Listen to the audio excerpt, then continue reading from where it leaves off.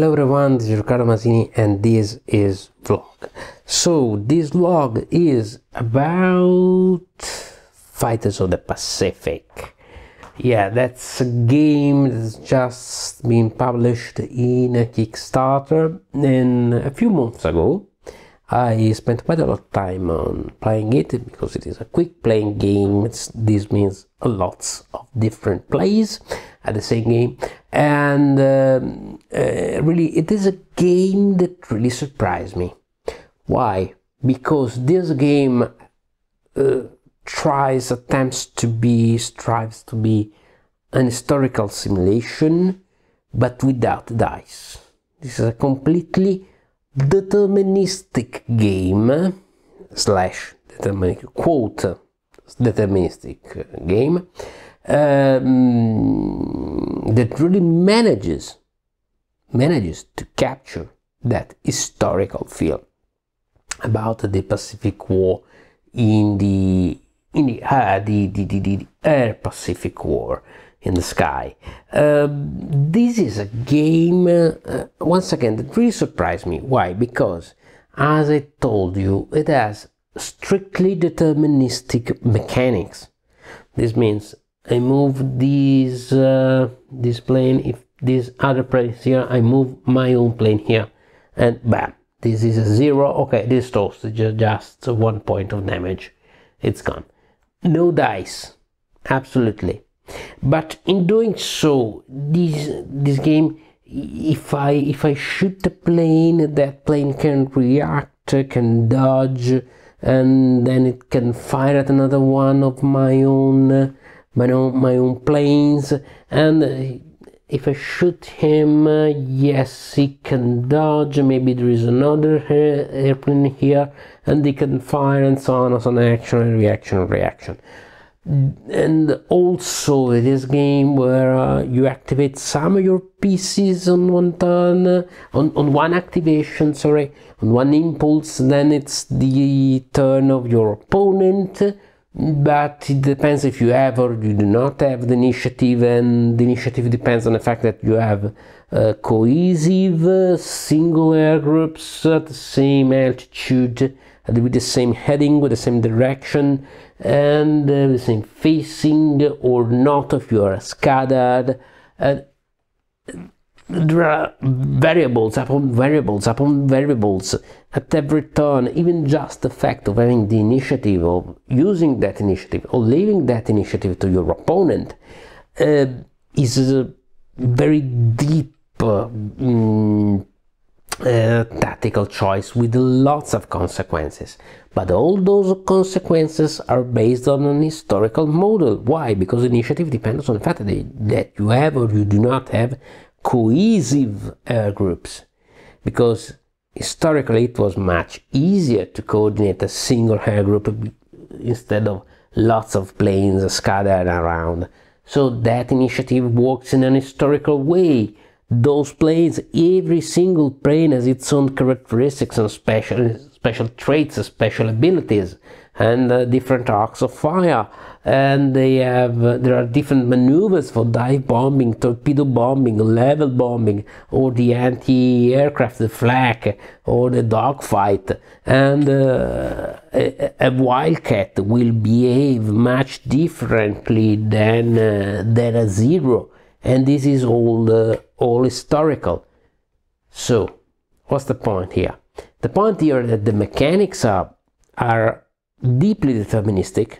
That is the single move the single fire etc but the dynamics created by those mechanics through a lot of variables a lot of multiplication of variables at every single decision and the fact that all those variables are dependent on ponderated and rationalized historical modelization well this means that this game is uh, a game with uh, deterministic mechanics but non-deterministic really simulative simula simulationist dynamics.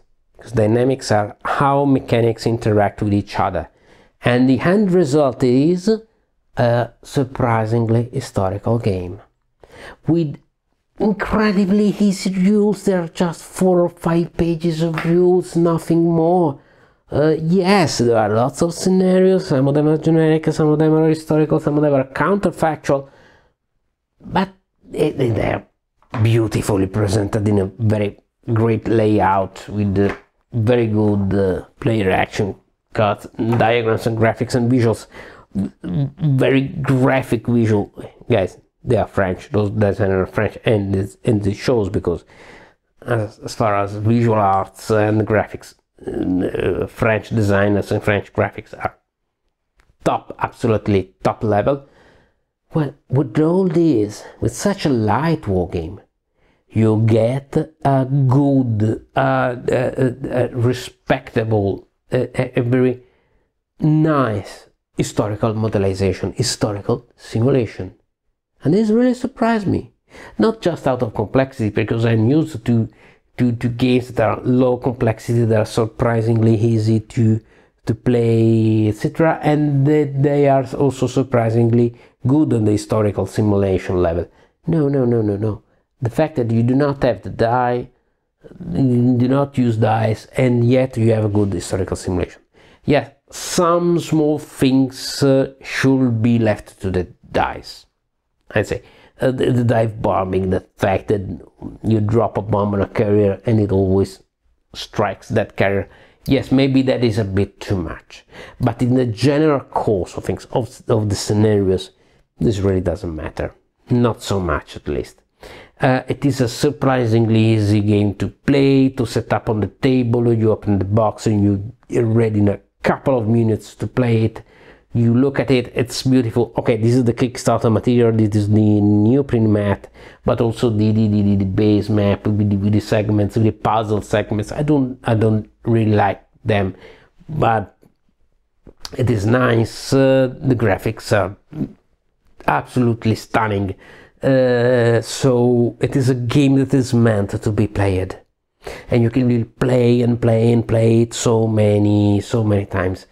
Uh, also in solitaire if you want there is a solitaire bot. Well the solitaire bot that comes with the game and really it's a bit too rigid because once again no dice. And a bot with no dice has can have too rigid priorities.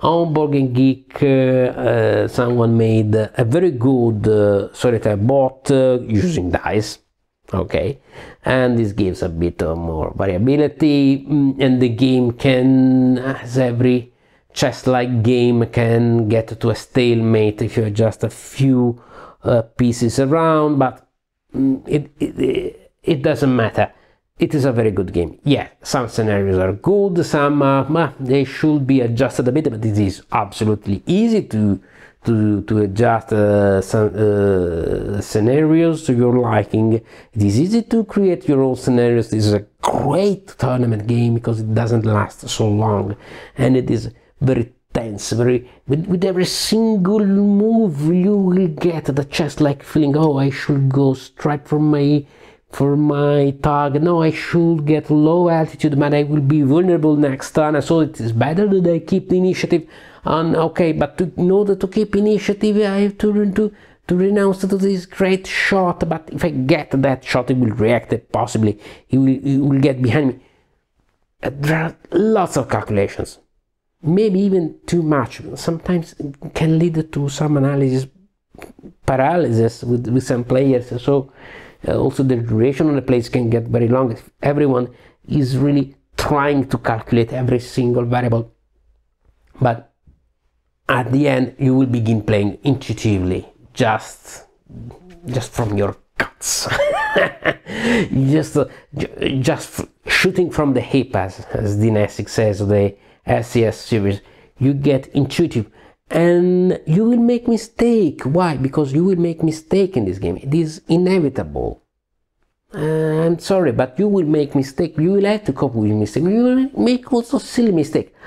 In one of my first plays i lost three torpedo bombers three japanese torpedo bombers because i sent them low altitude. They said okay they are they, they cannot be hit here but my opponent used the split S and surprised me and bam three bombers were gone this happened historically. Someone made a silly mistake and bam, three torpedo bombers were gone. the, the clouds they're, they're, they're, they're fundamental they're, they're crucial because you can hide planes here not so much because the planes they, they, they, they, they, they, they you cannot uh, adjust to match the speed if they're fast planes they will go straight ahead okay this is the neoprene map this means that these clouds are, um, are mobile on the base set they are printed on the map and there are various combinations they will not move. But oh the solitaire bot that i told you also has uh, variation for the position of the, of the clouds depending on, on wind so it adds even more variability. But even the same scenario will always play differently if you do one move or the other. The variables are so many there are so many small balances here and there that just a little variation will change everything so in the end this is a very good game. This is a very surprising game. A surprisingly good simulation game. Um, a surprisingly good simulation model. Very good for newcomers for young war gamers yes for teaching your your uh, your children, your, your your your younger friends what is historical gaming. Also, if, it, if they don't like, oh, I don't like randomness, I don't like dice, etc., but I like history, no excuses. You have a very good historical simulation with no dice involved. Then it is all up to you. I love dice. I love randomness. I always say so because in war games in simulation randomness is not arbitrary. It is made by the historical model uh, uh, chosen by the designer. Okay, but here there is no dice, and yet it is a mobile game. It's a very good game. It is not just a kids game because you will find lots of uh, uh, unforeseen depth in uh, in this game. Um, so it really surprised me, and uh, I, have to admit I made the, I purchased this Kickstarter out of curiosity. Let's try it. Let's experiment with it. I got lots of stuff. Here you are. I want to tell you so many stuff. So many. Whoa. This is all what you get with a Kickstarter, but also the base game. There is lots of there is a lot of material, lots of planes, etc. Uh, lots of missions. Great game. It really surprised me, and I'm really happy for my choice. And now there is a new Kickstarter coming for Fighters over of Europe. Fighters of Europe, that is the version of this game set in Europe from the Battle of Britain, even before the Battle of France, up to the strategic bombing campaign of 44-45. Um, and it really changes everything because there are different types of models with different traits, different characteristics, all historical. Very nice, very interesting. I hope it is not just a reskin, there is something more, but even that, uh, there is lots of replayability, lots of variation. So for me, also that Kickstarter will be an insta buy. This is a surprising game, a light war game uh, but with a with a very good simulation uh, simulation model with this with a good simulation result very accessible you just get it on the table even on conventions and you will gather attention because it's a fantastic game it's fantastically looking game and really surprising. Um, yes it is not perfect. There are many abstractions here and there. Okay it doesn't matter. Why? Because it is a good game and it is a good war game. It is a good simulation game this was Fighters of the Pacific really recommend it to try something really different uh, but also something very nice and once again this is a game that is meant to be played it won't stay on the shelf because you open it and in five ten minutes at the very most you are, you are already playing a scenario. Um, so, once again, thank you for having me here. See you next time. And as always, remember, don't be scared. It's just war games. Ciao.